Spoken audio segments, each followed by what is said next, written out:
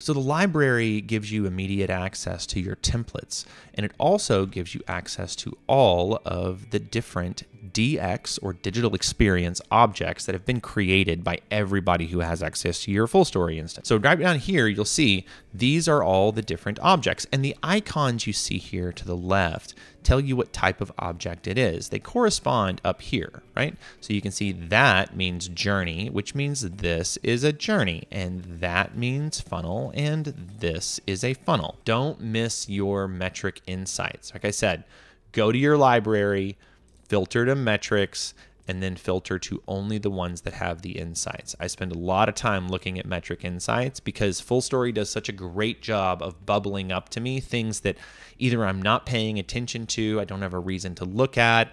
Most of the time, it's your stable numbers that end up being problematic because you assume they're stable until the day they're not.